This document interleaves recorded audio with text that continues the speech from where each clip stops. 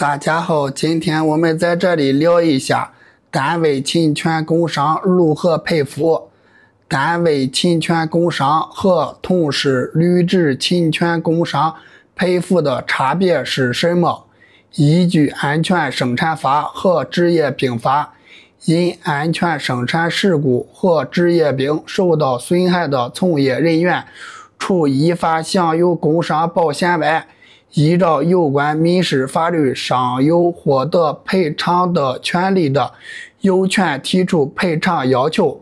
最高人民法院于二零二三年十二月十四日公布了两个审判思路：一、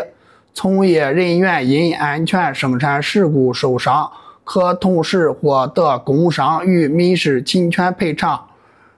最高人民法院民一庭关于侵权责任纠纷案件的十四个务实解答（二零二零二二版）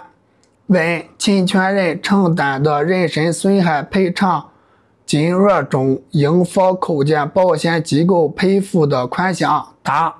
社会保险与商业保险合同关系和侵权民事关系。是不同的法律关系。受害人提起的是侵权损害赔偿之诉，侵权人对其侵权行为给甲造成医疗费损失应承担全部赔偿责任。受害人获得保险赔付不应成为减轻侵权人的责任的理由。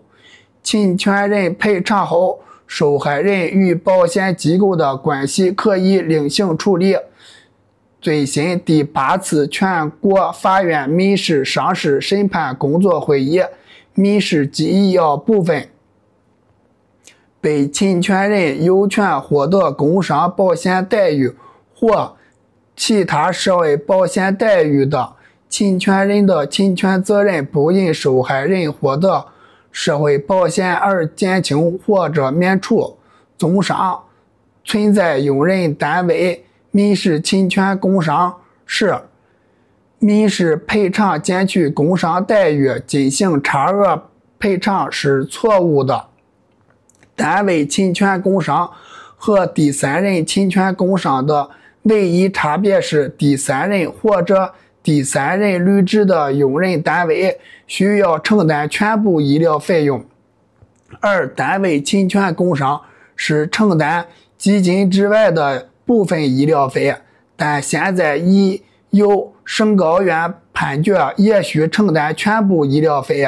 依据的就是最高人民法院民议庭关于侵权责任纠纷案件的十四个务实问题的解答。和最新第八次全国法院民事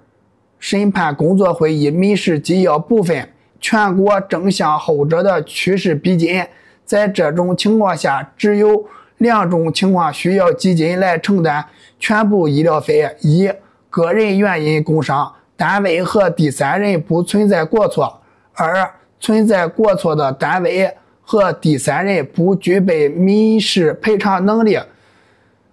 此种此两种情况下，需用需工伤基金承担全部医疗费，但是是指的目录之内的医疗费，目录之外的医疗费需要个人承担。